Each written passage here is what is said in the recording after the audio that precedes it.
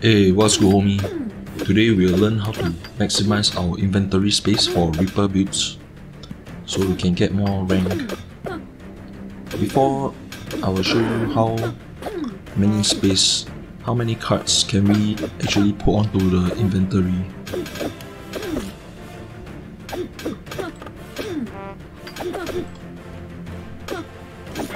Alright, as you can see, we have total of 9 times 7 spaces, which is 63 slots in the backpack. So minus 5. Let's look at so theoretically we can put about 62 which is 31 cards in the inventory. But because our cards have to connect to each other, so that's why here's the setup. Maximally we can put 29 cards onto the inventory. If we start from here, the top area, we'll go 1, 2, 3, 4, 5, 6, 7, 8, 9, 10, 11, 12, 13, 14, 15, 16, 17, 18, 19, 20, 21, 22, 23, 24, 25, 25, 26, 27, 28, 29. So total of 29 cards. Another another way would be to start from the right side. Oops. This is another possible way to get 29 cards into the backpack. So in, for 29 cards you can actually put one Mr. Struggles in this location and one slot items, three one slot items with 5 space. For 28 slots will be uh, it also be quite similar, you get to choose Mr. Struggles. For this we have uh, 7 spaces. However for this you have 4 spaces together. So let's start from 1, 2, 3, 4, 5, 6, 7, 8, 9, 10, 11, 12, 13, 14, 15, 16, 17, 18, 19, 20, 21, 22, 23, 24. Eh?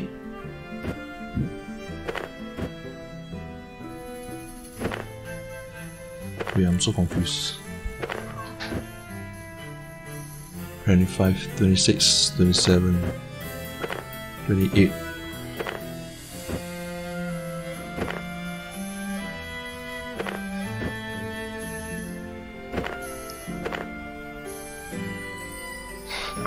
Sometimes I confuse myself. Okay, so we can use Mr. Quadrant Control for this 28 cards build. Okay, now let's talk about uh, examples of our Reaper build.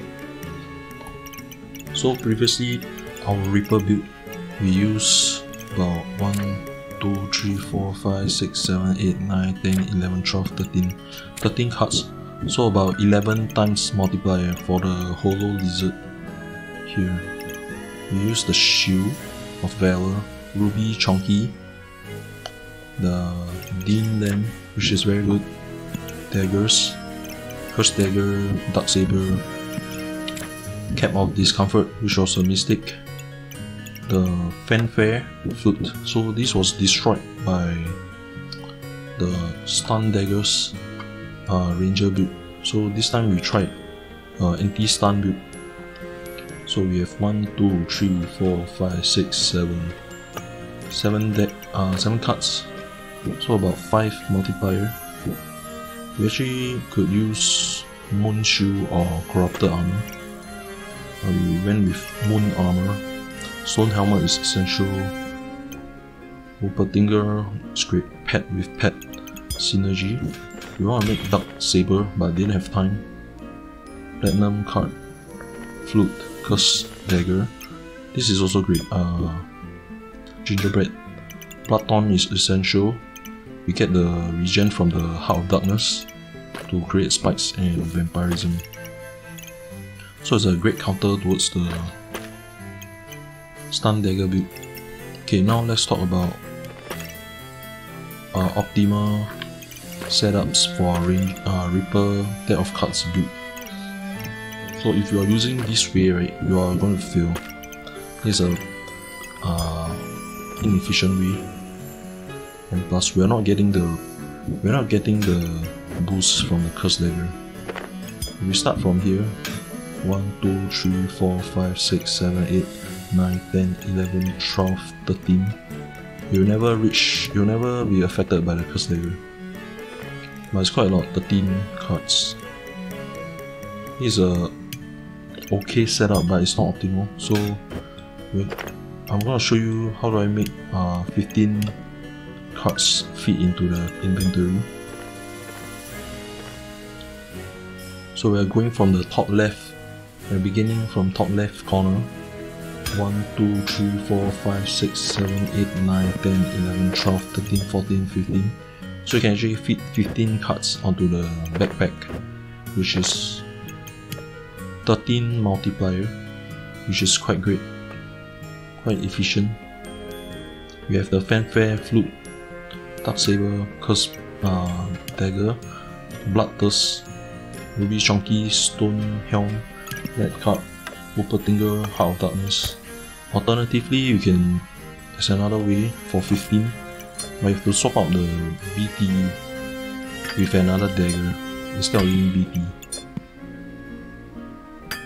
So for 13, 13 cards, you can uh, add a shield or corrupted armor in here.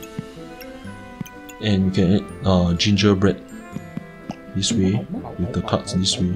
But your bloodthorne is outside of the coffin and the curse dagger. For 12 cards, uh, we actually have more space. But uh, these are like single slot. They are not connected to anything. So one another dagger here. Yeah so this is the optimal the most optimal build way to place your items in the inventory to maximize the space for the Reaper build so thanks for watching I hope you enjoy this uh, guide and hope you can benefit from this. Thanks for watching. Please like and subscribe for the algorithm. And I'll see you all next time for more. Take care.